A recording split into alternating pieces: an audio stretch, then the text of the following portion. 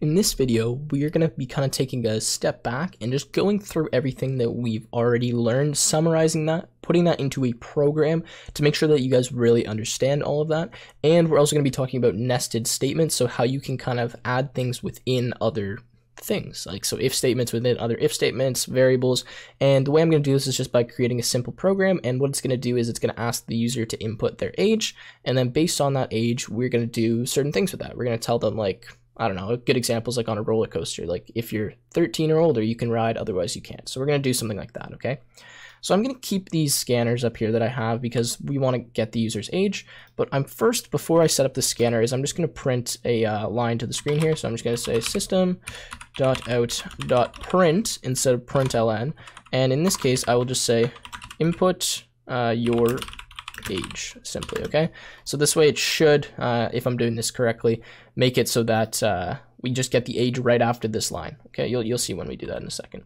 Anyways what I'm gonna do now is I'm just gonna kind of start typing and we'll go through uh, how this works after so I'm gonna say if uh, and we're actually just gonna convert this to an int first I think. String to an int. Yeah so using that parse int that I was talking about. So say int age is equal to s dot or integer.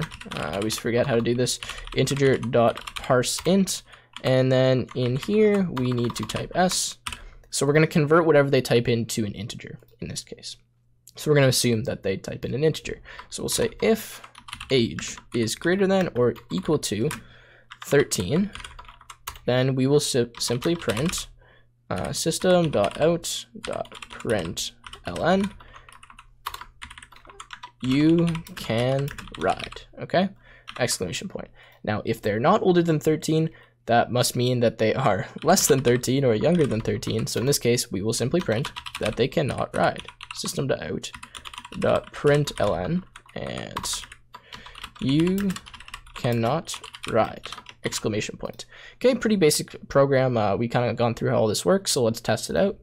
Input your age, five. You cannot ride. Okay, Let's try this now. Input your age, do 43. You can ride. Awesome. Okay, so everything's working fine for right now.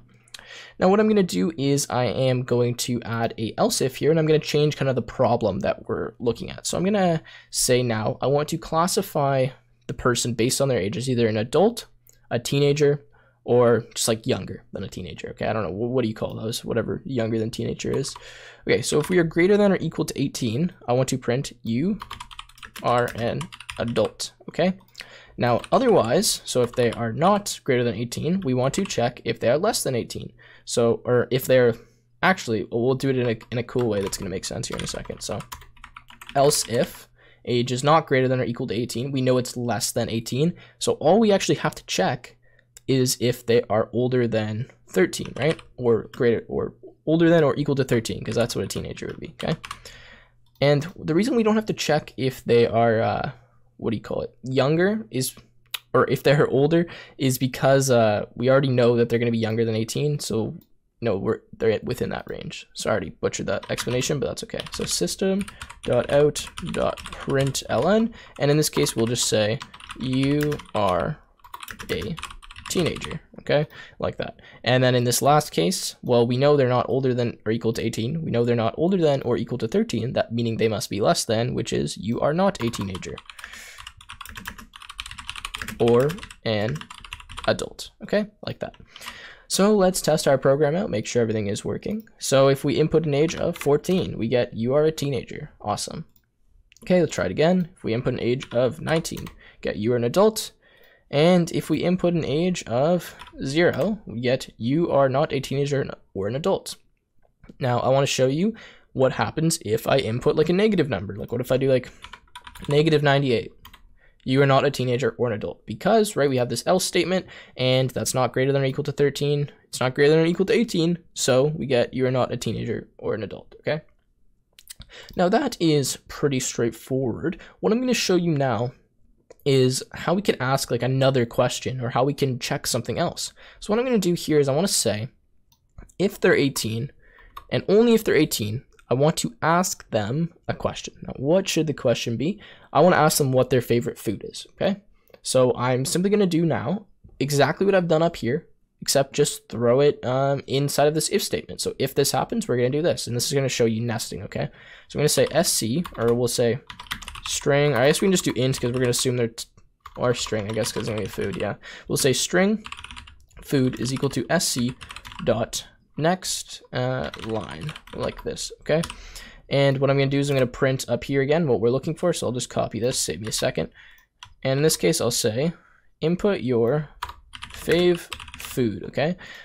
Now what I want to do is I want to check uh, what their favorite food is. So I want to say if their favorite food is pizza, I'll say mine too.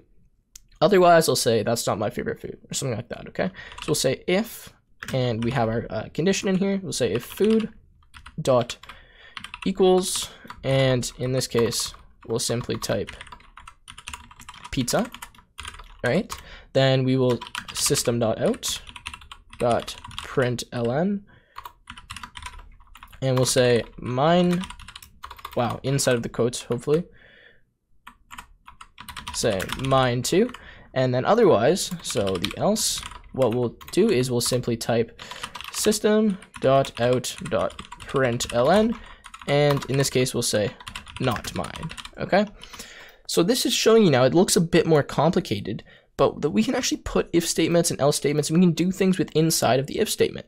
And I'll show you that this works. So if I type uh, I'm 19, it's going to say input your fave food. Okay, my favorite food. Let's try pizza. It says mine too. Awesome, that's working. Now, if I type something else, so I type like 4, it just tells me I'm not a teenager or an adult because we don't have anything else happening inside of this if statement or this else over here, okay? Now that's really cool, and that allows us to do some neat things. And you can continually nest, and this is called nesting, putting a statement inside of another statement you can continually do that as much as you want. Uh, so I just wanted to show that to you because a lot of people think that that's not possible or they don't understand that you're able to do that because they haven't been shown that, right? So again, if I want to ask another question, I could do that inside of here and I could just keep going. But anyways, I think that that probably gives you guys a good um, explanation of how that works and shows you that. I don't need to go any further. So with that being said, I'm going to end the video here. In the next video, we're going to be getting into looping, which is some more advanced stuff, some cooler stuff, and we're continually moving through and we're going to be getting more advanced now, uh, getting out to kind of the more basic stuff of Java. With that being said, if you guys enjoyed the video, please make sure you leave a like and subscribe, and I'll see you in the next one.